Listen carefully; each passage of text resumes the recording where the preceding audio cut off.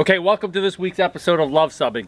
And I think that there's a phrase out there that says, be careful for what you wish for because it might come true. And last week, if you watched last week's episode, we said, and I think we're coming close to officially running out of content. now that all the snow is melted, it looks like we have something to troubleshoot. Yep. So we noticed a real small little wetness in our carpet once the snow all kind of melted off of this thing. And that means we have a leak. Yes. So that's going to be our challenge for this episode is to see if we can't uh, target that. Yep. This was going to be the year that I was going to recaulk the roof anyway. and um, But we don't know where it's coming from. You can see we've got painter's tape. We've been trying to kind of rule out some of the areas. Right, but um, it's gathering here and here, so yep. I think it's coming from the roof. So uh, we're going to show you how we troubleshoot this, and how we come through it. And what we're going to be doing on the inside as well. Yep, so that'll be this week's episode, fixing the leak in our Airstream. Hope you enjoy the video. So as you can see, the first step in troubleshooting, what we've done is trying to locate the leak.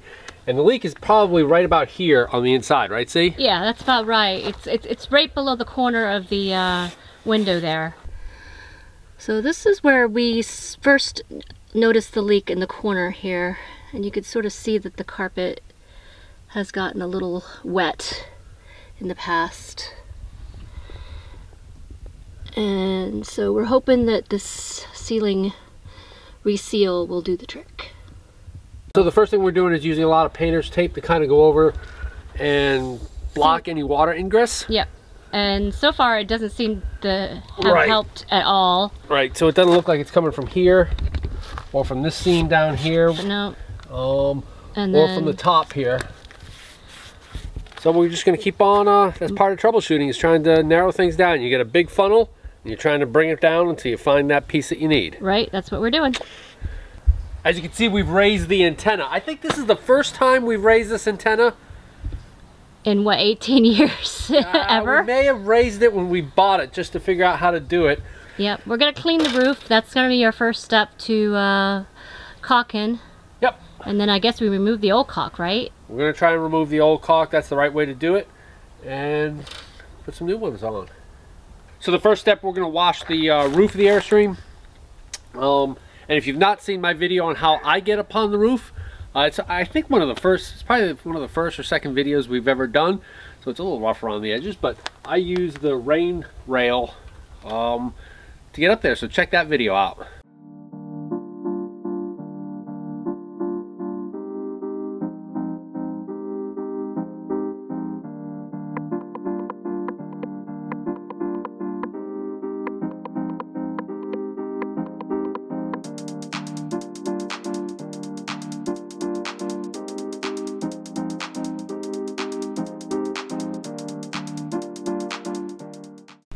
So we let the roof dry after we washed it yesterday. So this stage looks a little messy. What are you doing?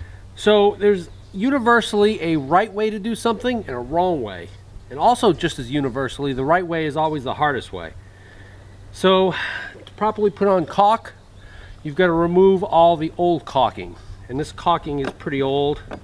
You can kind of see what I'm pulling up. It's kind of hard and crusty, uh. which is a sign that it needs to be replaced. And so that's what we're kind of doing. We're removing the caulk. Step by step, right? Yep, we're gonna prep the surface. I ordered the caulking from Defender Marine. So it should be pretty waterproof, right? Well, it's the Sikaflex, which is recommended. I, I know this factory uses something different these days, but they used to use the Sikaflex, and that's what I used before. So um, by ordering it from a marine store doesn't mean it's any better. It just means it's 10 times more expensive.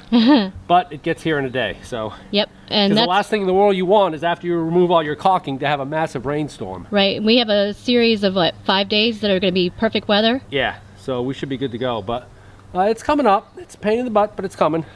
Yep. You've been working on it for, what, a couple hours now? Yep. And I've got the front fantastic fan and part of the radio done. But you got to do things right. If you do try and skip, you're gonna end up with leaks again, and that's not what we want. Nope, we wanna fix the leak. Yep, so get that caulking off. Excellent.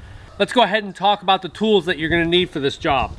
Um, probably the most useful thing, scraper and a little uh, scraper helper, just to get some of that caulk up. needle nose pliers on occasionally will help to pull some of that stuff. Out, of tight spaces, right? Yeah, I, I, I use these, but these aren't as good as the needle nose. Sometimes a screwdriver, flathead screwdriver, just to get that little area that maybe the scraper doesn't go into too well. Bucket to keep all your Leavings, shavings. shavings and your dustpan. And the jury's out on this stuff. We got this because in some areas the caulk was pretty hard. It may have helped a little bit. I'm doing it around here. And um, this might help. And we'll give you a final report on this. But it seems to be helping a little bit soften up some of that hard caulk. What, what's it called? Crud Cutter. Very cleverly, they put it with a K because I would not have bought this if it was spelled with a C. I would have said, no, that's that stuff don't, I'm not buying that. But because they spelled it with a K, about eight bucks at Home Depot. Yep, we're gonna give it a shot, right? Yep, so I've been doing this for Since this morning. most of the day. Yep, it's a kind of a miserable job, but I did find one rivet that's missing up here. And we have another one over here on right. the on well, the that one that one I knew about. Yep. Um, we covered that one up in caulk as soon as we found it. But um, I'm going to replace, I didn't know about this one rivet here that's kind of hidden, so we'll replace that. and we'll replace the other one now instead of caulking it. Yep. All right, well, as you can see, I've changed. I'm not in my Airstream work shirt anymore. Um, I am sore. That job was horrible. Are you done with it? Uh, yeah, I get a little bit more cleanup, final cleanup work, but I'm pretty much done. But man, stripping off that caulk. The, the big problem with being sore is the fact that you can never have a nice, easy um, way to stand. You're always on the ribbing, so you're not comfortable. You're always flexing You're twisted. and twisting, and Cindy's making pizza. It just was a tough day. I started around nine-ish Yep. and finished around three-ish. So, um, but yeah.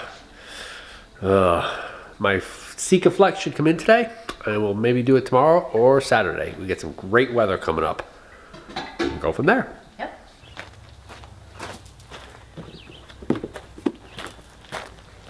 Sweet. So my sealants have arrived. I ordered these on Wednesday and they came in on Thursday, 24 hours later from Defender.com. They're a marine boat supply company. And this is a good tip. Sometimes if you can't find what you need in an RV store, the marine companies will usually sell a very high quality product, very expensive, but it's always another option if you can't find what you need at, say, your standard uh, RV company. Marine company, and the best of the best is Defender Marine. Check them out if you need them. All right, so let's go ahead and see what we got.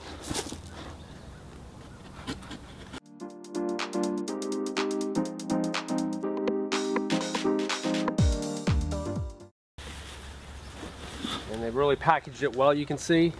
So this is Sikaflex 505 UV. Um, I'm not, I think the Airstream factory currently use AdSeal, but Sikaflex is what I've used before. And I think it's uh, something that a lot of Airstream and RVers use on their roof. Now here's an important tip. Here's my 721 UV, which they don't make anymore. It's been replaced by this. But make sure you check the expiration date. Most of these sealants have an expiration date, and you can see here, that little guy. We're gonna start by just making a really very, very small um, cut here at the uh, application nozzle because we're gonna start sealing the front cap seam first before we go around the Fantastic fan. But before we do that, we're just gonna do a few practice um, Lines to see. lines just to get used to it. Yep. And then we're gonna go ahead and start our sealing process. Before we apply the sealant, we're gonna go ahead and use some Citrahol uh, citrus metal cleaner and maybe even some simple green to make sure that our surfaces are entirely clean before we apply the sealant. And dry, correct? Yes.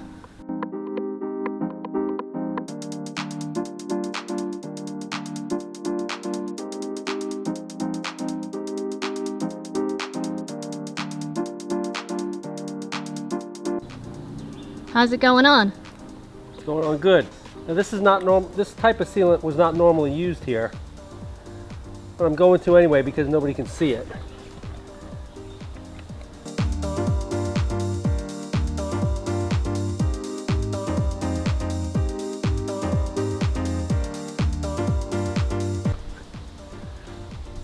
So here's Rich going around the Fantastic Fan He cut a bigger hole in the caulk gun so that we could ply more around that area than along the seam.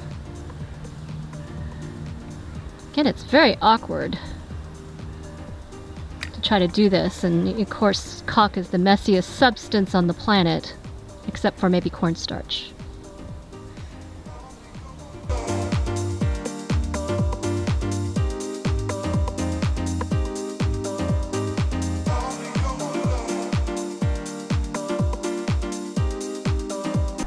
It's a little like playing Twister up there, right? It is.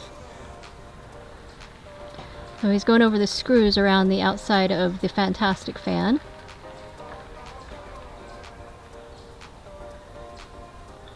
Today's weather is perfect for this. Here he is going around the antenna, which we never use.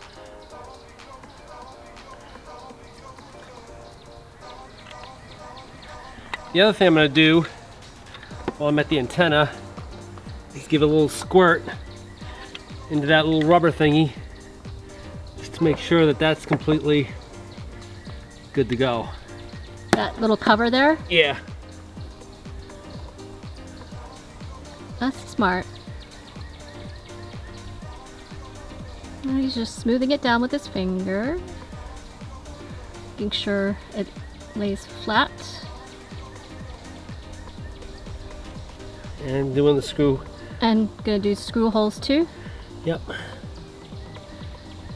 Yeah, so one of the important things about getting up on your roof um, is to check out to make sure you don't have any missing rivets. And we saw that there's one head of a rivet that's kind of shaved itself off somehow.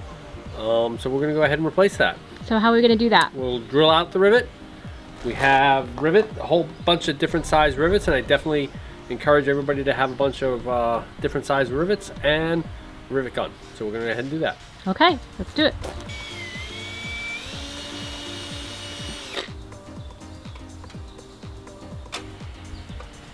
Nothing like drilling a hole in the roof of your Airstream. Yep. All right, so we got that. Take our rivet gun, a rivet. We'll go ahead and put that on. kind of like when we did the Zip Dee awning thing, huh? Yep.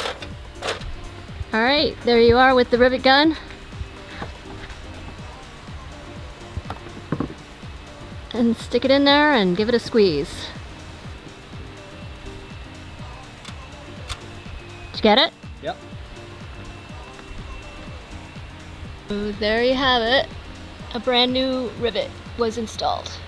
All right, well, I think that about does it, huh? Right. Well, we hopefully got everything sealed tight and we had a little bit of rain and Yep. it seemed to have hopefully solved the problem. But we also found two rivet holes. Yep, two rivets that the head had been shaved off up there. So that just emphasizes the importance of getting up on your roof and checking things out, Yeah. and not waiting too long to get your caulking uh, redone. How long would you recommend going in between checking the Uh, caulking? I, I, I, I saw something that said when it stops becoming pliable is a good time to replace it. So now, once a year, I'm going to take, um, or every few years, probably just take a screwdriver, And just test it. push it in there, and as long as it's soft and pliable, I think that that's a good time to say your caulk's good. But once it starts getting hard, Right. Ours was pretty hard. yeah, we waited too long, admittedly, to do this, and it's probably because I hate getting up on the roof of this thing. I was so sore. Oh my goodness. Three days of cleaning and scrubbing.